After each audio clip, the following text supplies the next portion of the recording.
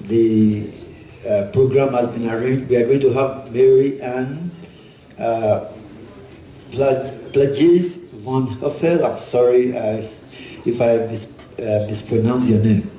And then after that, we are going to have uh, Mr. Iain T. Benson and then Sean De.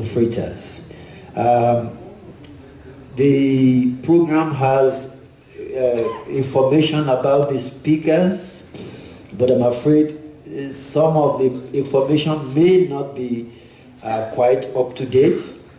Uh, for example, in the case of uh, Dr. Iain Benson, uh, we need you to recognize that he has a PhD, he lives in France, he has seven children. these are information that we need to, and of course,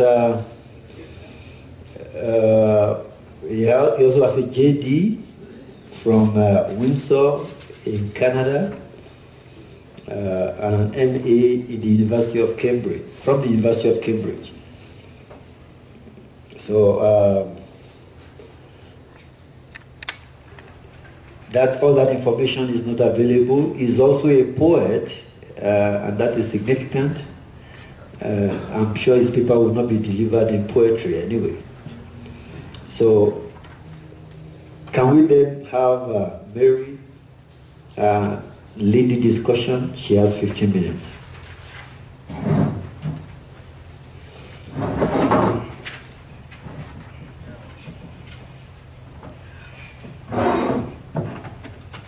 Now, from my side, I'll do what of thanks for inviting me to take part in this very important uh, discussion. I'm not a law expert and I'm a theologian and I'm currently teaching at Stellenbosch University and teaching church law and church polity. And I'm also the moderator of a church, a very large church in South Africa context, namely the Uniting Reformed Church in Southern Africa. And uh, when I'm going to do the reflections concerning this very important issue concerning the rights and responsibilities and freedom of religion at public schools in South Africa, I'm going to do it uh, with the emphasis of what my church stance is on this matter. So because I'm not going to have uh, ample time conveying my own uh, viewpoint, I will some, make some remarks in upfront and you will know where I'm going to head into if I'm not going to have time enough to attend to the whole paper. It means that I listen quite clearly what Professor Coertzen tried to convey to you. And I'm only one to convey, in short, it means that I got a different opinion about the whole issue.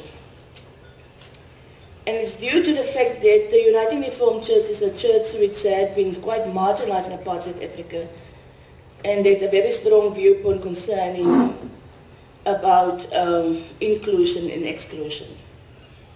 In the paper, I will attend to the notion of religious freedom and religious pluralism in South Africa and a constitutional provision thereof. The paper is divided in three parts. One where we define religious freedom as framed in our constitution.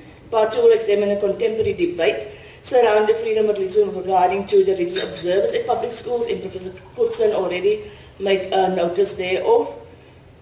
And I, for one, believe the current discourse in South Africa is about individual and collective rights with regard to freedom of religion at public schools. And it is the right of governing bodies over against the right of individual, the majority, which is safeguarded also in our constitution. Part three of my presentation is about religious education in schools in South Africa and the South African national policy of religious education. Um, so I'll attend to that. The questions I attend to when I um, tried to prepare myself was, what is uh, freedom of conscience and religion and thought and belief and opinion as entailed in our constitution? What is understood about this whole issue about religious observance? What is understood about this whole notion about equitable uh, basis and what is understood about this whole thing about free and voluntary? Lastly, I will attend to the National Education Policy Act, the National Policy on Religion in Education, as well as the position of South African Schools Act concerning this matter. So, religion uh, is very important to define uh, upfront what, we, what is uh, meant when we refer to uh, religion. religion is one of the powerful and influential forces in human society. It shapes uh, people's relationship with each other, influence families, communities, economic and political life.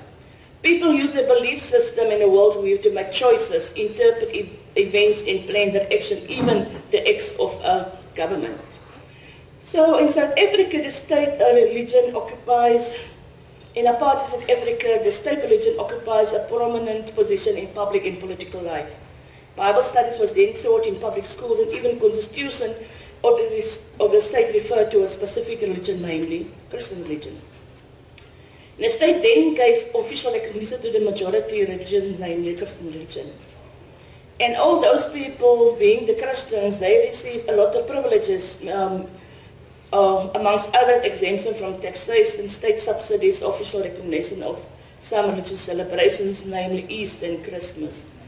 The post-apartheid state seeks to treat all faith communities and even those who profess no religion all equal and equitable before the law.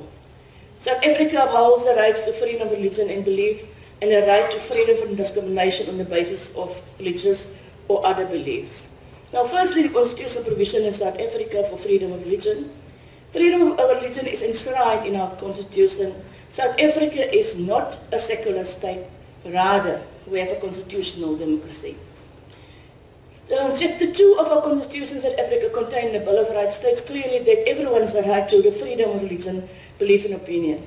In our preamble of the Constitution, the following is stated quite clearly. My God, protect our people. And it is open question for a lot of people in South Africa if a preamble should refer to God at all. A preamble gives an important indication about the Constitution's fundamental values. It can therefore be deduced that the Constitution of South Africa is not a religious neutral document. Rather, it states quite clearly a position choice concerning religion. A secular state is viewed to be a state with no state religion in which the state is officially neutral in matters of religion, neither supporting nor opposing any particular religious beliefs or practices, not so in South Africa. Strictly speaking, South Africa cannot be seen as a secular state. A secular state is properly distinct from an atheist state like in North Korea or Soviet Union, in which the state officially opposes all religious beliefs and practices. In some secular states, there is a majority religion, for example, in Turkey. In others, there may be a great religious diversity, example, maybe in India. On the other hand, it means that if you want to, want to understand South Africa, we must say that quite clearly, South Africa is not yet a secular state. Secularism in South African context should therefore be understood on a broad framework of diversity of beliefs and values that all the citizens of South Africa embrace.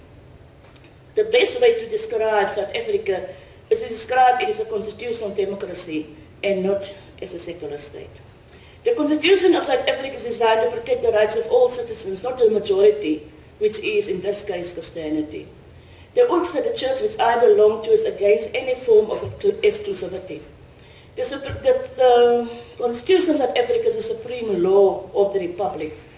The Constitution expects uh, a lot of things from us and therefore I want to state the following quite clearly to you now, is that South Africa is a, still a deeply religious society with approximately more than 85% of people declaring themselves a one or another religious affiliation. Therefore, we must take cognizance why the state, our state, have a lot of provisions in the constitution referring in one way or another about religion, conscience, about belief. Examples in our constitution is section 9, section 10, section 15, section 6, section 16, section, 8, uh, section 18 as well as section 31 of our constitution. In Section 9, the Equality Clause prohibits unfair discrimination on various grounds, including religion.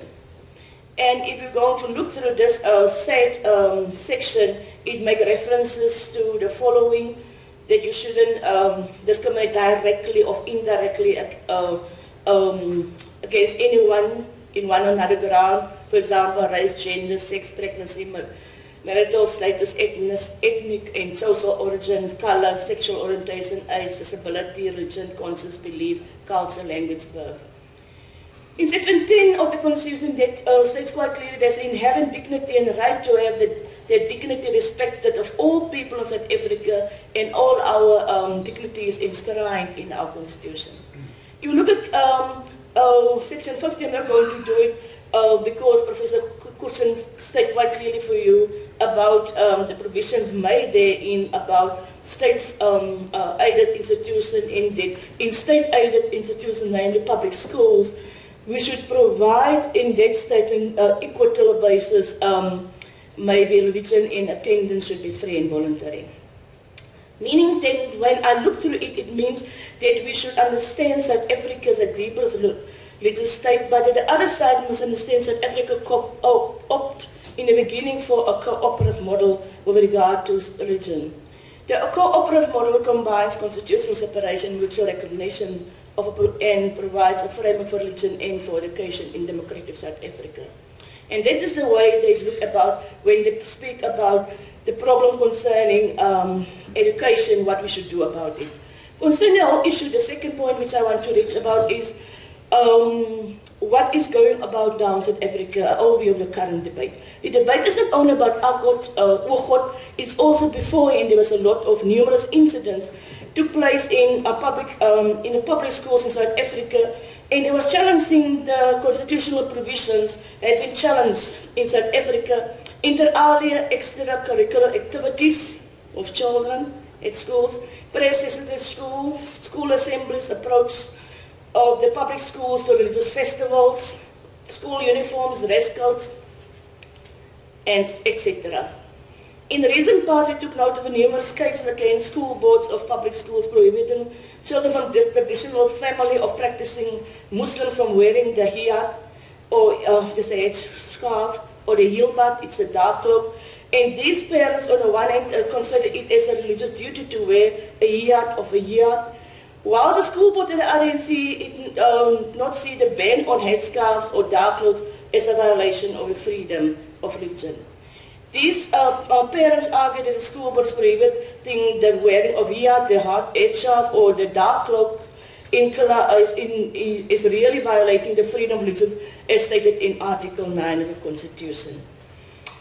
And uh, what uh, was uh, they done then, they um, had a lot of these issues uh, land on the table of the Human Rights Commission and the Commission of, um, um, oh, and all these commissions have different opinions concerning disputes. But what I want to concerning OGOD is the, OGOD is the following, is this organization said quite clearly they want this organization against discrimination on basis of religion in public schools. Now I don't want to go in detail about what is stated in their uh, motion, but what I want to say is that uh, immediately when this, um, they then uh, approached the High Court of Johannesburg, claiming that the action of some public schools in South Africa is a breach of the national policy on religious education and is therefore unconstitutional. A lot of the churches and faith communities in South Africa immediately respond.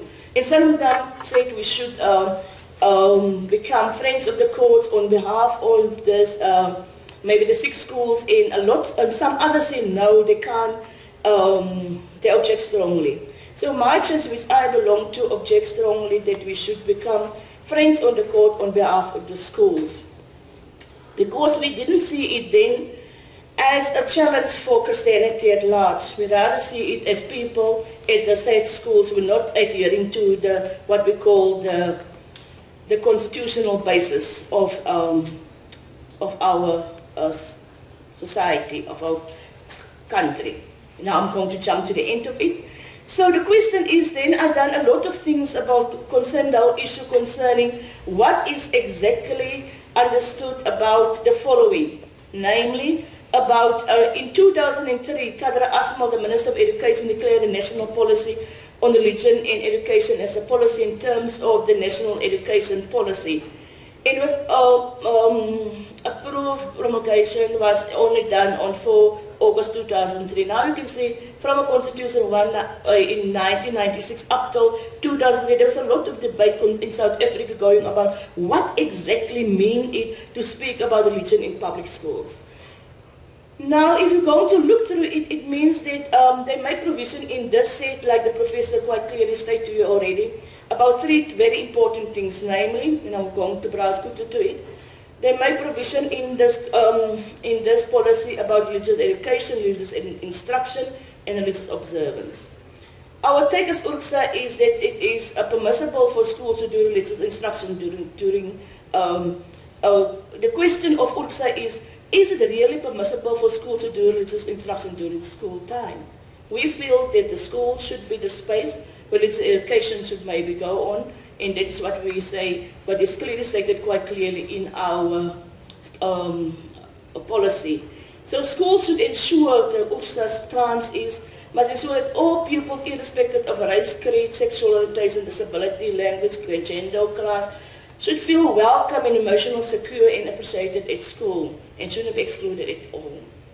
Um, then in uh, concerning our issue of religious instruction, we say it is quite clear that the national policy of religious education said quite clearly that whose task it is to um, make provision for religious instruction. And it said quite clearly the provisions made the instruction is primarily responsibility of the home, the family, and religious community, and not the public sphere, not the schools. So we are strongly against any confessional uh, teaching about religion going about on schools, premises during school time. Lastly, Professor already said quite clearly what is his observance, and all we want to say there is the following is very important. In South Africa, although this uh, said policy was already accepted 2003, for most of the schools, it's business as usual. They ignore all the provisions made in this um, in this policy in they year to what we will say um, religious uh, um, what we call the religious observance, which is more or less exclusion of other people, the minorities in the same schools. So at uh, certain schools there is um, worship, there's um, uh, maybe there's also during school break there's uh, special um, prayer times and so on. And what we want to say is religious observance, we should understand there's some schools, like Catholic, Roman Catholic schools, maybe they have a mess, but we speak about non-denominational schools, public schools, where a lot of carols, uh, Christmas carols are being sung during Christmas times or in Easter time, a lot of um, activities is going about Easter, and some of the Muslims feel excluded, Jewish children as well, feel excluded when these things are happening. At a, a public school. So the question is how should we go about with embracing each other and jump to the end of it? It means the premises of URCSA is the following. Is that the rights of all pupils should be held to that the religious belief and values that their parents should be protected at public domains, namely at school. And that schools or public uh, institutions, teachers and school boards may not impose specific beliefs and values on students or others that it serves. So I'll take it, I'm going to do the conclusion now.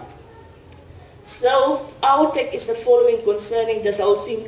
Uh, we see that the school should not be the place. URCSA take is that in our age of pluralism, proselytism is not a legitimate way of practicing evangelism. We should do evangelism in our in our different um, in our different communities, not using the school premises to do um, evangelism.